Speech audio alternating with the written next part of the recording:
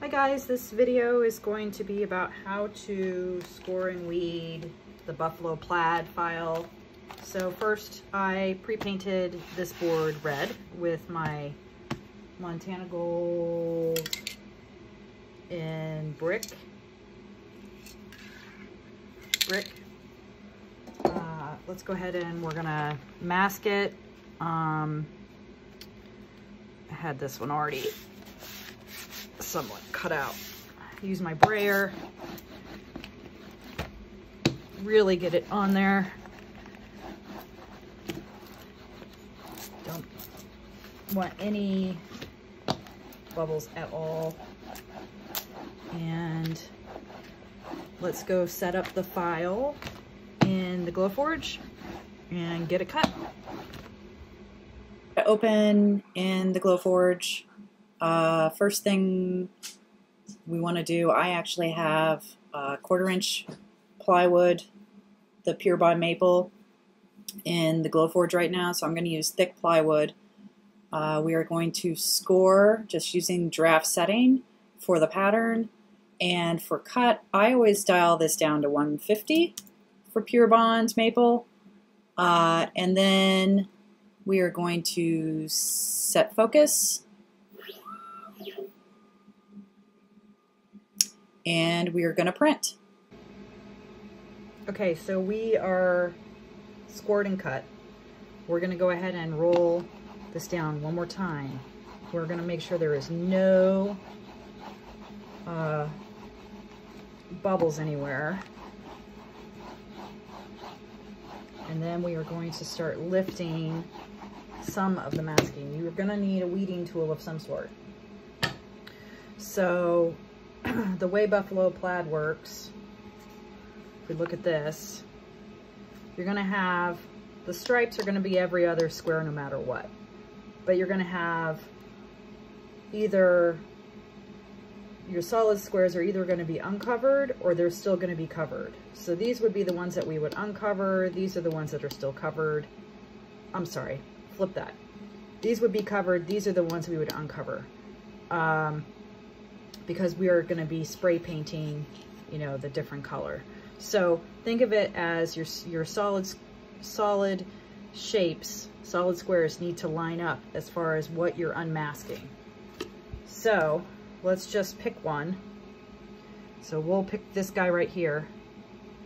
We're going to carefully pull him up. You know, I'm going to try tape. We'll see if tape works because I'm afraid if I dig in too much, I may mar my paint underneath.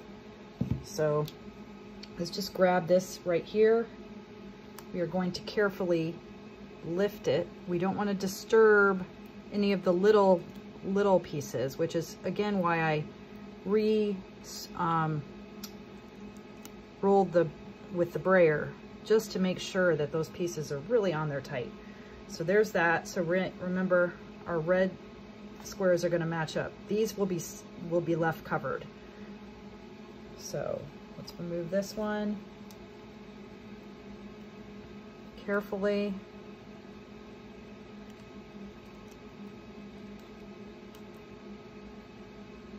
Still can't believe this worked. So funny. So we're gonna have to come here and take this one out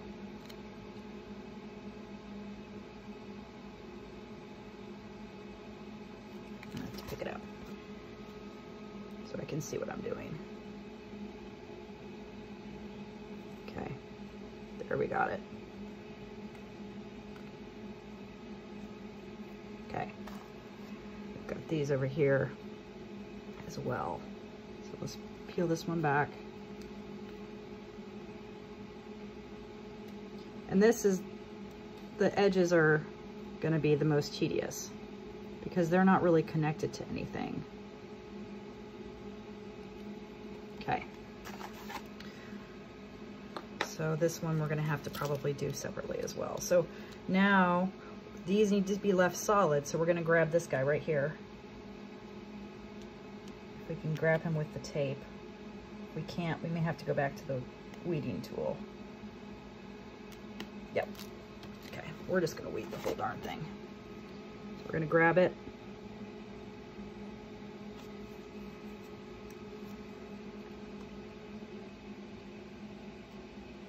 Again, trying not to mess up your paint.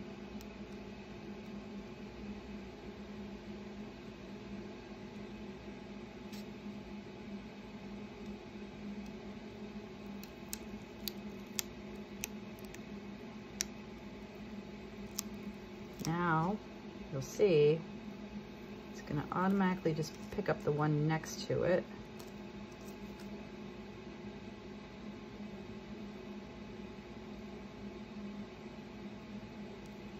And this is not for the faint at heart. Pull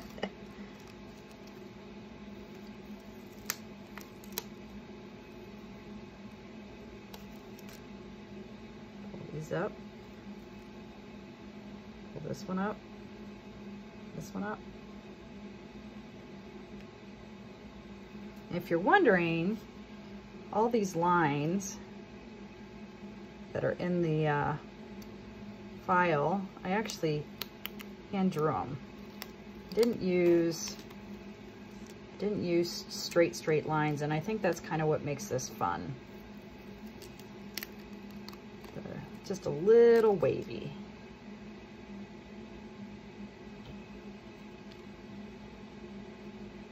Making sure we're pulling up the alternating lines. I would say this is probably a little bit more of an advanced weeding project. Let's grab this one. Come on, little buddy.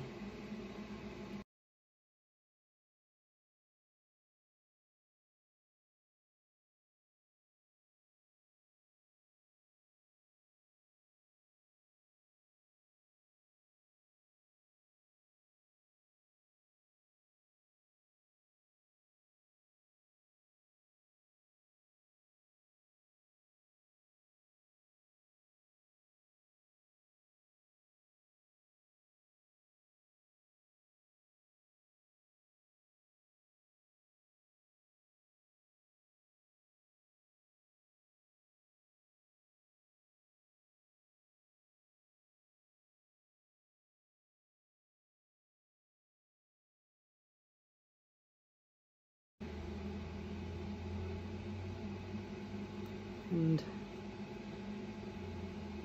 I just pulled up the wrong one. See that? So that's okay. I'm just going to push it right back down. Didn't I? Yeah, I think I did. Darn it.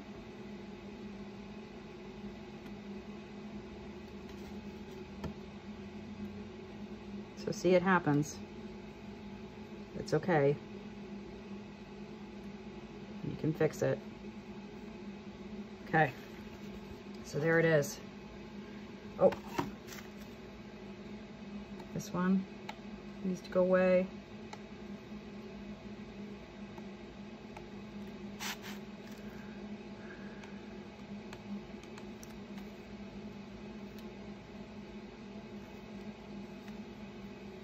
And then these two.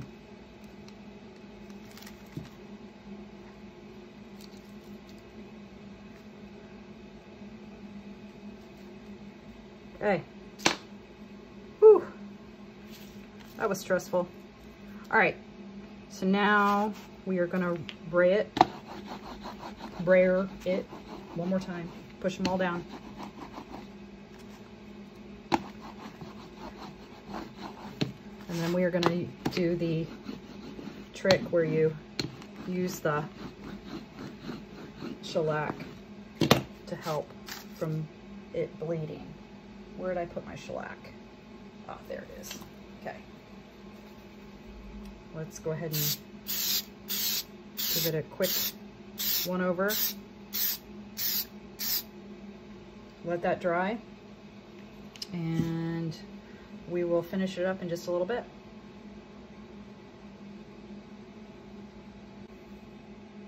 All right, so we have sprayed our lacquer I'm calling it dry because I have no patience. Uh, and we are going to use one of my new favorite metallics because I just want to see what it's going to look like. So it's the Champagne Metallic. And we are going to give it a good uh, once over and see how it goes. Actually might change out my cap though. Is this, yeah, I'm gonna change out my cap.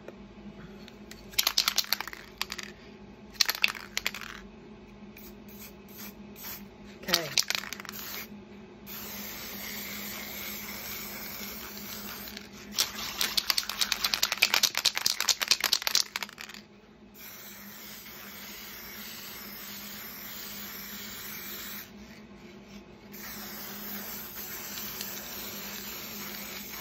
Definitely showing red through more than uh, I would like. But it could just be that the metallic is kind of a similar color. I think that's actually really good coverage. Whew, okay, so we're gonna let that dry and hope for the best. All right, here's the, uh, here's the moment of truth. There's one spot I'm nervous about that I see is that there's a little wrinkle there, so we're gonna see how this goes. But, all right, uh, fingers crossed, guys. Uh, well,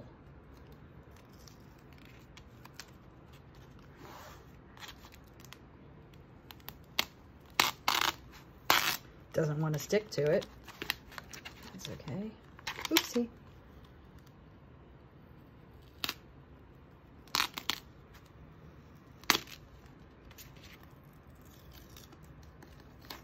Again, just, oh my goodness.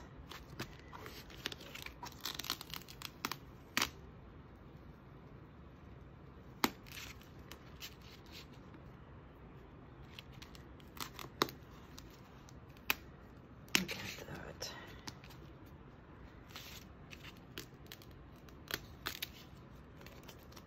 Mm. I swear this second, this last round of tape I got is not as sticky as the normal um, uh, Gorilla tape.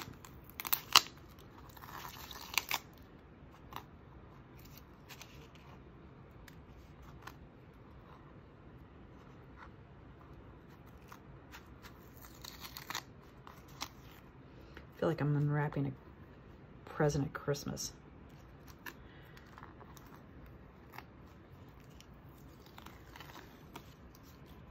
Okay, the spot I'm nervous about is over here.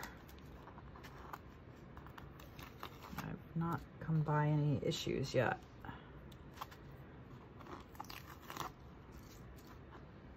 It's right there, let's see. Uh, I think we're okay. It looks like it might have just, maybe just the slightest bit, but really it's, it's just like right there, but it's, unless you're looking for it, you don't really see it. And that was my own fault because I was rushing. Um, if I had really looked, I would have seen that issue. So I'm going to finish weeding this up. Okay, so here it is. Uh, that little message I had running along the bottom, I said, don't wear your rings. I managed to take a big old scrape right here out of the paint because of my ring stands up. So make sure you take off your rings so you don't make the same mistake I did. Um, but other than that, I think that it's very successful. Super excited about figuring out how to make this this work. Here's, we wanted to add in our name, we could. Um, and if you guys want a tutorial on how to make this, uh, let me know.